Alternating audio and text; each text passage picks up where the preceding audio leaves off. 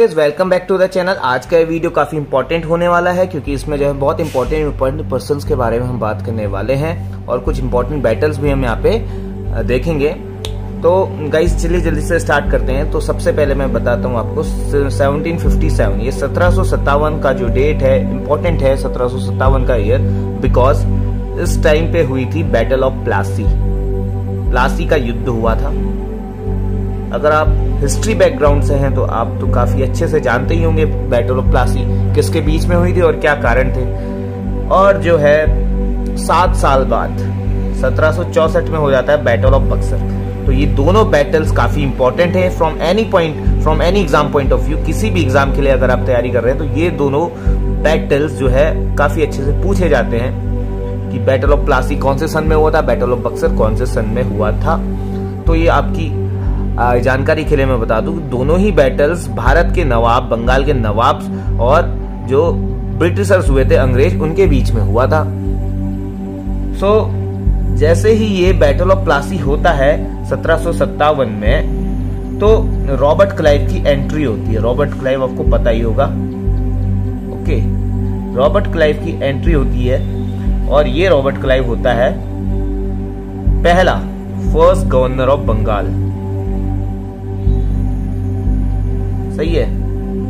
पहला गवर्नर होता है बंगाल का कौन? रॉबर्ट क्लाइव तो रॉबर्ट क्लाइव जो पहला गवर्नर होता है बंगाल का,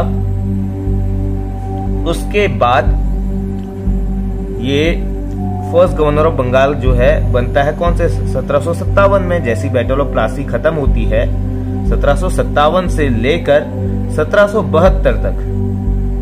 सत्रह से बहत्तर तक ये पोस्ट रहती है, गवर्नर ऑफ़ बंगाल वाली ना, ये पोस्ट रहती है। फिर आपको पता होगा कि सत्रह में 1773 में एक एक्ट आता है, जिसको ना जानते हैं हम, regulating act. Regulating act of 1773 भी बोलते हैं जिसे, रेगुलेटिंग एक्ट। तो इस एक्ट के थ्रू क्या होता है? जो गवर्नर होता है, अभी तक बंगाल प्रेसिडेंसी का जो गवर्नर होता है, इसको नाम दे दिया जाता है गवर्नर जनरल। तो पहली बार जो टर्म यूज़ किया जाता है गवर्नर जनरल वो इसी समय यूज़ किया जाता है रेगुले, रेगुलेटिंग एक्ट के बाद साल है सत्रह तो पहला गवर्नर जनरल बंगाल का ठीक है? गवर्नर जनरल ऑफ़ बंगाल अभी तक गवर्नर ऑफ़ बंगाल था ये हुआ है गवर्नर जनरल ऑफ़ बंगाल तो पहला governor of general of Bengal कौन होता है? पहला गवर्नर जनरल ऑफ़ बंगाल होता है वॉरेन हेस्टिंग वॉरेन हेस्टिंग ठीक है? So Warren Hasting governor general of Bengal होता है, ओके? और ये कुछ इंपॉर्टेंट काम करता है, जैसे कि पहला काम तो इसका ये होता है कि कलकत्ता में कैलकाटा में ये स्टैब्लिश करता है सुप्रीम कोर्ट। अगर आपने मेरी लीगल हिस्ट्री वाली वीडियो लेक्चर्स देखी होंगी तो वहाँ पे मैंने काफ़ी अच्छे से हर चीज़ मेंशन की है। मेयर कोर्ट एडमायरल्टी कोर्ट सारी चीज़ें जो है administration of legal system in administration of justice in Madras administration of justice in Bombay administration of justice in Calcutta तो सारी चीज़ों के बारे में अच्छे से वहाँ पे डिस्कस किया है। आप जाके चेक ऑन कर सकते हैं लीगल हिस्ट्री की प्लेलिस्ट में। सो so, कैलकाटा में जो ये सुप्रीम कोर्ट की स्टैब्लिशमेंट करता है। जिसका जुडिक्शन सिर्फ़ और सिर्फ़ कलकत्ता प्रेसिडेंसी तक होता है। कलकत्ता का जो है सुप्रीम कोर्ट होता है। सो so, और ये क्या करता है? ये कलकत्ता का सुप्रीम कोर्ट क्यों स्टेब्लिश करता है? जो ईस्ट इंडिया कंपनी होती है उसके जो अफेयर्स होते हैं काफ़ी जो है वाइड रेंज में उसके अफेयर्स चल रहे होते हैं। अफेयर्स मतलब बिज़नेस अफेयर्स जो है पॉलिटिकल अफेयर्स जो है है ना? ये सारी चीज़ को कंट्रोल करने के लिए जो है सुप्रीम कोर्ट का एस्टेब्लिशमेंट करती है कौन? क्राउन ओके अब जैसी स्टेब्लिशमेंट ऑफ़ ये सुप्रीम कोर्ट होता है कलकत्ता में वॉरन हेस्टिंग करता है। सो so, यहाँ पे जो है पार्लियामेंट्री सिस्टम ठीक है? अगर आपसे पूछा जाए इंडिया में पार्लियामेंट्री सिस्टम कब स्टेब्लिश हुआ था? इंडिया में हाँ?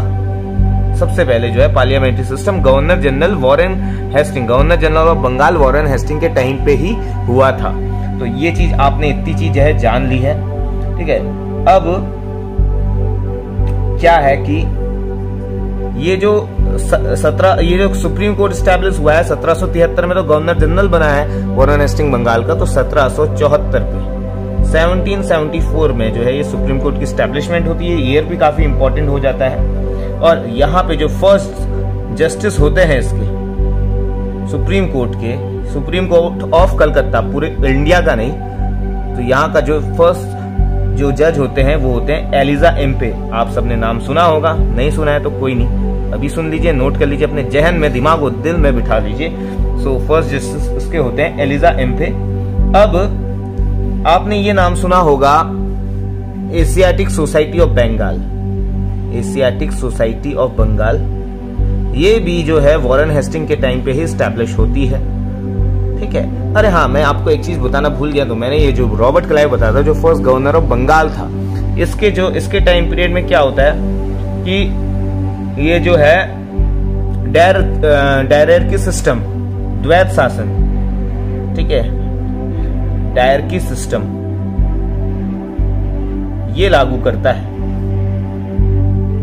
द्वैत शासन मतलब कि क्या होता है? कि जो एडमिनिस्ट्रेशन वर्क तो करते ही हैं, साथ में जो ये रिवेन्यू वर्क होता है ना, ये भी इनके हाथ में चला जाता है रिवेन्यू वर्क और पॉलिटिकल वर्क ठीक है रिवेन्यू और पॉलिटिकल वर्क जो है, ये रॉबर्ट क्लाइव इंट्रोड्यूस करता है इसे बोलते हैं डायरेक्टी सिस्टम और द्वैत शासन। ठीक है, अब जो है, ये डायरेक्टी सिस्टम के थ्रू होता ये है कि जो नवाब होता है बंगाल का, नवाब ऑफ़ बंगाल, ठीक है,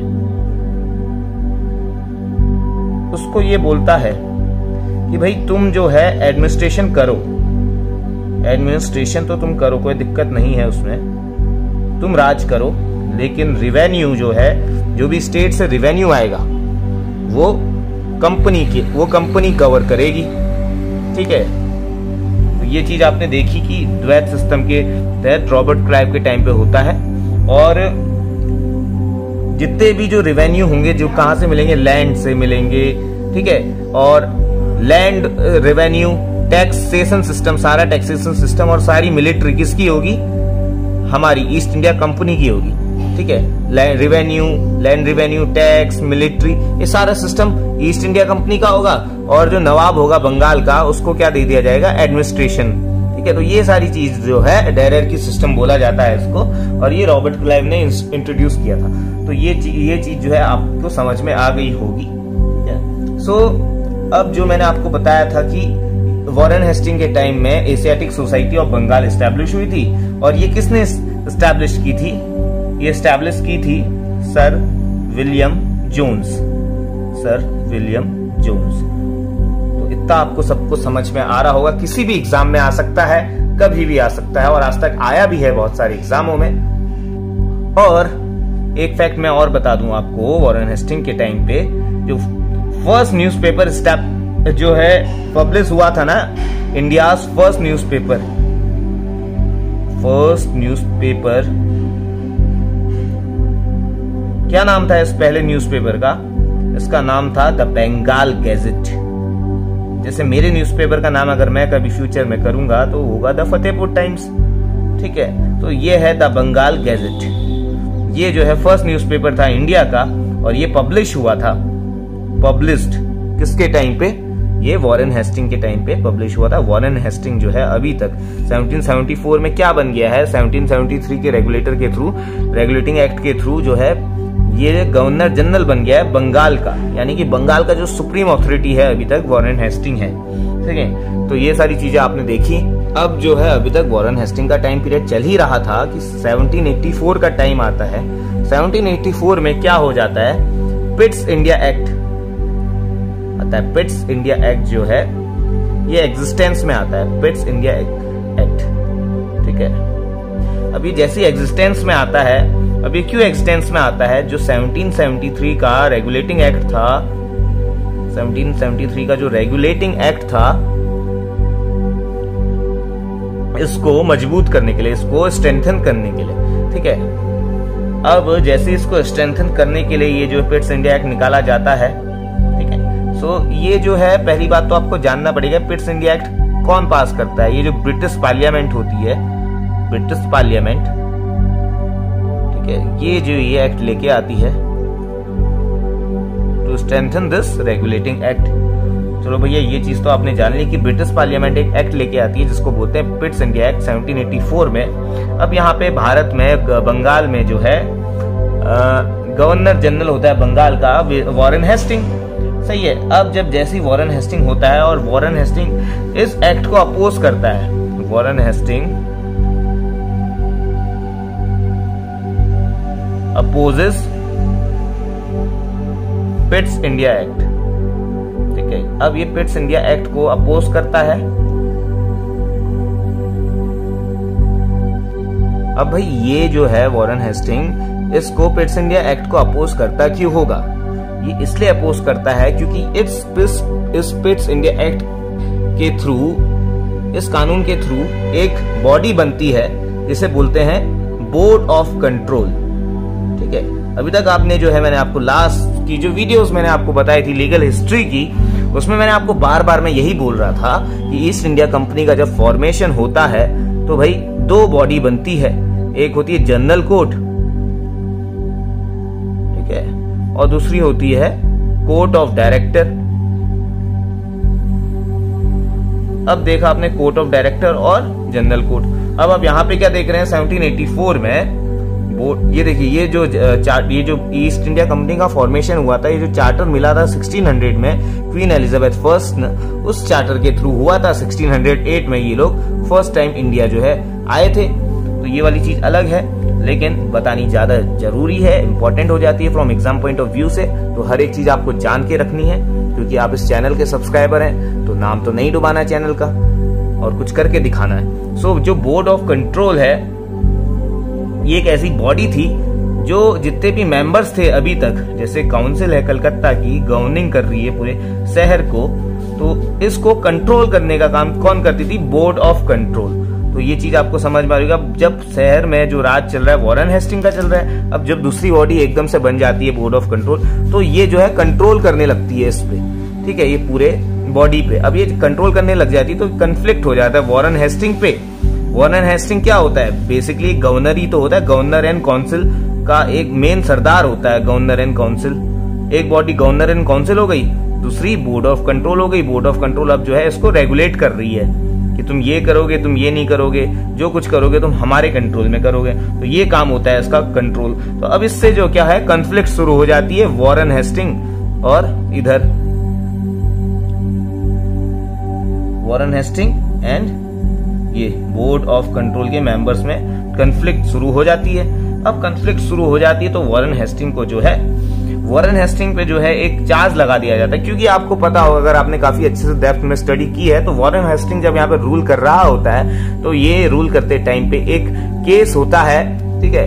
तो एक पर्सन होता है, उसको जो है फांसी में लटका देता है, ऐसा जो है, क्योंकि जब ये वहाँ का एज अ रिवेन्यू कलेक्टर होता है तो ये कुछ घूस वगैरह खाता है ब्राइब वगैरह। तो इसका जो है, ये चीज़ मुद्दा जो है, वहाँ ब्रिटेन में चला जाता है, इसलिए बोर्ड ऑफ़ कंट्रोल का गठन किया जाता है। असली बात तो ये है। ठीक है?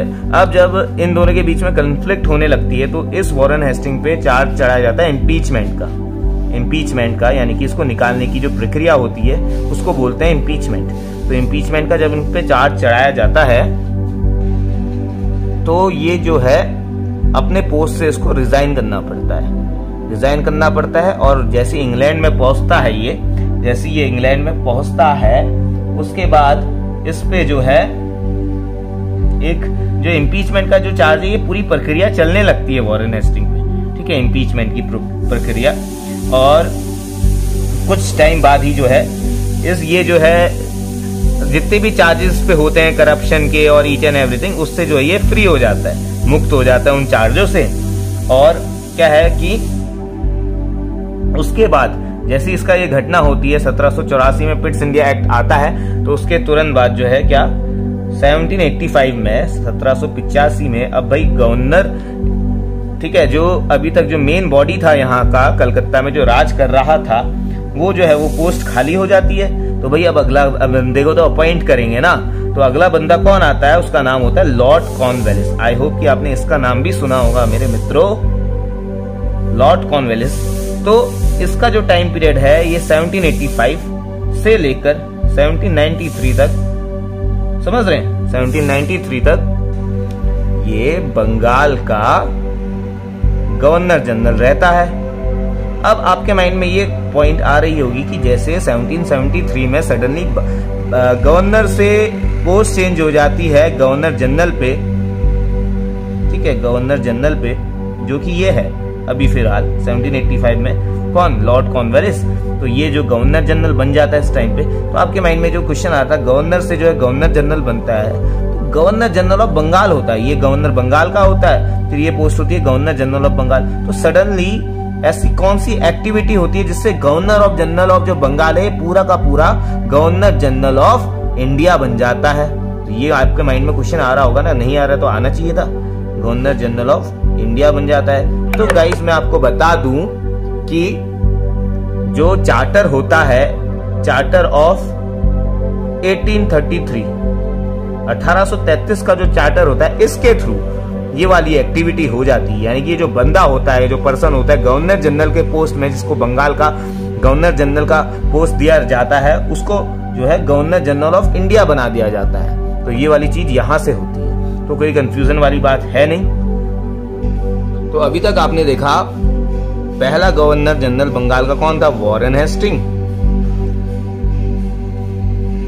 और ये लास्ट गवर्नर भी था बंगाल का। दूसरा गवर्नर जनरल आपने कौन देखा? बंगाल का। अभी तक बंगाल की बात चल रही है। तो दूसरा गवर्नर दूसरा गवर्नर जनरल आपने बंगाल का। यहाँ पे मैं लिख देता हूँ बकायदा। गवर्नर जनरल ऑफ़ बंगाल है ना? सो so, पहला आपने देखा वॉरेन हेस्टिंग दूसरा आपने देखा लॉर्ड कॉनवेलिस लॉर्ड कॉनवेलिस और रॉबर्ट क्लाइव तो गवर्नर था ना सिर्फ़। सिर्फ़ बंगाल का पहला गवर्नर था रॉबर्ट क्लाइव ठीक है? और जैसे ही लॉर्ड कॉर्नवालिस को गवर्नर जनरल बनाया जाता है बंगाल का अठारह में, क्योंकि अब जो है गवर्नर जनरल की जो सीट होती है बंगाल की, वो खाली हो जाती है। वॉरेन हेस्टिंग पे इम्पीचमेंट का चार्ज चढ़ा दिया जाता है जैसे लॉर्ड कॉर्नवालिस जो अगले गवर्नर जनरल बनते हैं बंगाल के। सो so, इसका टाइम पीरियड मैंने सॉरी ये जो है 18 कर दिया मैंने 1785 तो मैं जो है पिछले कुछ मैंने गलत बता दिया था क्या? टाइम टाइम टाइम नहीं सब कुछ सही है गाइस बिल्कुल सही कहा था मैंने 1833 का जो चार्टर होता है उसके तहत जो है गवर्नर जनरल ऑफ़ बंगाल होता है ऐसे बना दिया है गवर्नर जनरल ऑफ़ इंडिया तो यहाँ पे थोड़ी गड़बड़ हो गई थी सत्रह में लॉर्ड कॉर्नवालिस को गवर्नर जनरल बना बना दिया जाता है बंगाल का। अब देखिए, इसके टाइम पे क्या क्या इंपॉर्टेंट काम होते हैं, वो चीज़ देख लेंगे। तो सबसे पहला जो है, और इंपॉर्टेंट काम जिस चीज़ की आप तैयारी कर रहे हैं सिविल सर्विसेज़ सिविल सर्विसेज़ तो इसी लॉर्ड कॉर्नवालिस को फादर बोला जाता है सिविल सर्विसेज़ का। Father of civil services important question बन जाता है, हर जगह पूछा जाता है कि फादर ऑफ़ सिविल सर्विसेज़ कौन है? किसको माना जाता है? तो फादर ऑफ़ सिविल सर्विसेज़ हैं लॉर्ड कॉर्नवालिस इंडिया में कब आए थे? 1785 में as a governor general of Bengal तो इतनी सारी चीज़ें अगर आपको पता है तो आगे चलते हैं। और इन्होंने ही जो है, पुलिस सर्विसेज़ जो होती है इंडिया में, इन्होंने ही स्टार्ट की थी। सिविल सर्विसेज़ पुलिस सर्विसेज़ और अब जैसे मैंने आपको बताया कि इन्होंने सिविल सर्विस स्टैब्लिश की सो so, इनके टाइम पे क्या होता था? सिविल सर्विसेज़ के टाइम पे जो है मतलब वो कहते हैं ना उसको कि भेदभाव चलता था। भेदभाव क्या चलता था? कि जितने भी जो हाई ऑफिशियल्स होते थे सिर्फ़ उन्हीं को रिक्रूट किया जाता था एज अ सिविल सर्वेंट कोई कंपटीशन एग्ज़ाम कुछ ही नहीं होता था गाइस कुछ भी नहीं होता था। जो जो है मतलब जो हाई हाई पोस्ट में होंगे वो जो है सिविल सर्विसेज़ में जो है यहाँ पे सीधा के सिविल सर्वेंट्स बन जाते थे। तो भाई इनके टाइम पे तो ये होता था, ठीक है? पार्शलिटी होती थी। सो जैसे ही लॉर्ड डलहाउजी आते हैं तो ये क्या करते हैं? कॉम्पिटिटिव सिस्टम स्टार्ट कर देते हैं कॉम्पिटिशन एग्ज़ाम्स का, ठीक है? कौन करते हैं? लॉर्ड डलहाउजी तो एक एक चीज़ इंपॉर्टेंट निकल के आ रही है आपको, जो है सब लिखा हुआ सब कुछ मिल रहा है आपको, बस इस चीज़ को याद करनी है और ये काफ़ी काम आने वाली है। और गाइस अपने इस चैनल को आप अपने दोस्तों के संग जो है शेयर करें ताकि उनसे बोले कि इसे सब्सक्राइब करें और इसको लाइक करें वीडियो को और बेल आइकन को प्रेस करना ना भूलें। सो so, अब जैसे ही कॉम्पिटेटिव सिस्टम का जो है ये लॉर्ड डल हाउसी ढांचा तैयार करते तो पहले जो हाई ऑफिसर्स को नियुक्त किया जाता था एज अ सिविल सर्वेंट अब इन्हें जो है एग्ज़ाम्स में बैठना पड़ता था। ऐसे ही नहीं कि उठ के मुँह उठाए और चल दिए और सिविल सर्वेंट बन गए भाई आईपीएस आईएएस बन गए। नहीं ऐसा नहीं। अब लॉर्ड कॉर्नवालिस ने पहली चीज़ तो सिविल सर्विसेज़ की, दूसरी पुलिस सर्विसेज़ का इन्होंने स्टैब्लिशमेंट किया। अब इन्होंने जो है हर एक डिस्ट्रिक्ट में इन ईस्ट डिस्ट्रिक्ट ही स्टैब्लिश पुलिस स्टेशन ठीक है? तो ये सारी जो चीज़ें आपको देखने के लिए मिल रही है पुलिस स्टेशन की शुरुआत कहाँ से होती है? लॉन लॉर्ड कॉर्नवालिस के टाइम से होती है। तो इस चीज़ में कोई संदेह नहीं है, और ना ही होना चाहिए। पुलिस सर्विसेज़ आपने देखी, आपने सिविल सर्विसेज़ देखी। अब एक इंपॉर्टेंट काम ये क्या करते हैं लॉर्ड कॉर्नवालिस ये करते हैं परमानेंट सेटल को इनेक्ट करते हैं, लागू करते हैं। ठीक है, बनाने और लागू करने में बहुत डिफरेंस होता है। बनाया किसी और ने था। परमानेंट सेटलमेंट का अस्तित्व कौन लेके आए थे? आपको वो चीज़ भी मालूम होनी चाहिए। इन पर्सन का नाम है सर जॉन सोर ठीक है? परमानेंट सेटल ये लेके आए थे यानी कि परमानेंट सेटल के father George sir John Shore को बोलेंगे। लेकिन इसको इनेक्ट किसने करवाया था? इसको इनेक्ट सर आम, ये क्या कहते हैं लॉर्ड कॉर्नवालिस ने करवाया था। सही है। सो अब देखिए परमानेंट सेटलमेंट जो है 1793 में सत्रह में ठीक है? यानी कि अपनी सर्विस के ठीक जो है आठ साल में। आठवें साल में जो है ये परमानेंट सेटल को इनेक्ट कर देते हैं। अब इस सेटलमेंट में होता क्या है कि जो बंगाल, बिहार और उड़ीसा, ये चीज़ इंपॉर्टेंट है। बंगाल, बिहार, उड़ीसा। ओके बंगाल, बिहार और जो उड़ीसा है,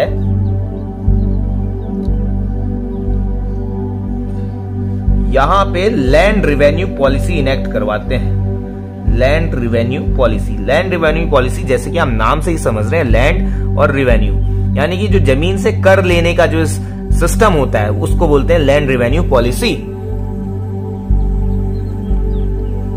इस पॉलिसी के तहत होता क्या था? जैसे ये पूरी एक बड़ी सी लैंड है, ये जैसे ये पूरी एक बड़ी सी लैंड है, और इस लैंड को जो है छोटे छोटे पोर्शन में कुछ लोगों को दे दिया जाता है, ठीक है? इसमें ये बोला जाता है, अब ये लिखने में बहुत छोटी है, ये जो है 120 एकड़ 130 एकड़, एक बड़ा सा मान लो कि एक पूरा का पूरा डिस्ट्रिक्ट दे दिया डिस्ट्रिक्ट का जो है डिस्ट्रीब्यूट कर दिया, उस डिस्ट्रिक्ट में जो है बंदे रख दिए, उस बंदे को बोला जमींदार। जमींदार को बोला, भाई, ये खेत हमको, तुमको देते हैं और इस खेत में तुम खेती करो, चाहे इसको तुम रेंट में दे दो, लेकिन हमें उससे कुछ नहीं करना। हम, हमें क्या करना है कि जो है, जितना भी रेवेन्यू आएगा तुम्हारी लैंड से जैसे हंड्रेड रुपीज़ रेवेन्यू आता है तो नब्बे रुपए तो भाई कंपनी ले लेगी।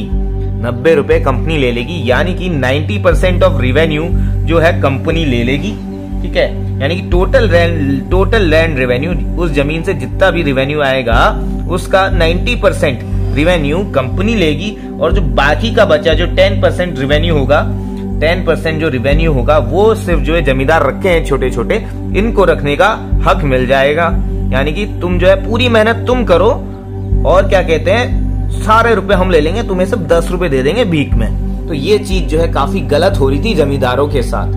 आप खुद अपने आप को रख के देख लीजिए कि आपको जमींदार अपॉइंट कर दिया कहीं का और आपसे बोला जा रहा है इस खेत को जोतो जिसमें पूरा काम करो और काम करने के बाद जो भी फ़सल उगती है उसमें से जो मुनाफा होता है उसका नब्बे परसेंट तुम हमें दे दो।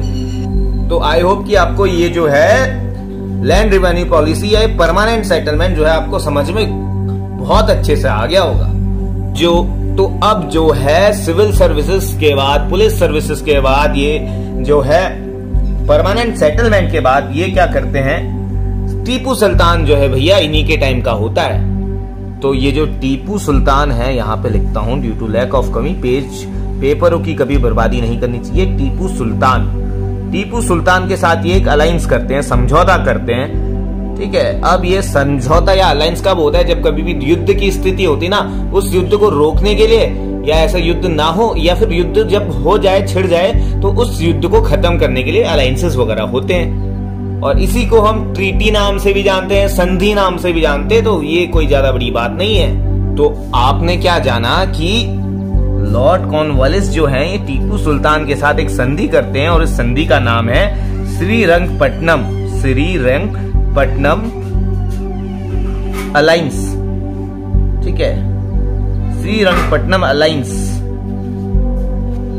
अब भाई ये ऐसा क्यों करते हैं? क्योंकि जब ये टीपू सुल्तान बच्चे होते हैं, जो इनके पिताजी होते हैं, हैदर अली हैदर अली आपने नाम सुना होगा तो हैदर अली और ये जब यहाँ पे रह रहे होते हैं श्री रंगपट्टनम फोर्ट में श्रीरंगपट्टनम फोर्ट जो है, ये मैसूर में जो कावेरी नदी है, कावेरी नदी, कावेरी रिवर इन मैसूर, ठीक है, यहाँ से 9 किलोमीटर 9 किलोमीटर के दायरे में ये एक फोर्ट पड़ता है, उस फोर्ट को बोलते थे श्रीरंगपट्टनम फोर्ट, और उस फोर्ट में जो है, हैदर अली अपने बेटे के साथ रहा करता था।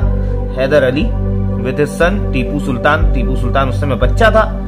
तो ये जो है सर जी, लॉर्ड कॉर्नवालिस। तो लॉर्ड कॉर्नवालिस ने इस श्रीरंगपट्टनम, दिख रहा है?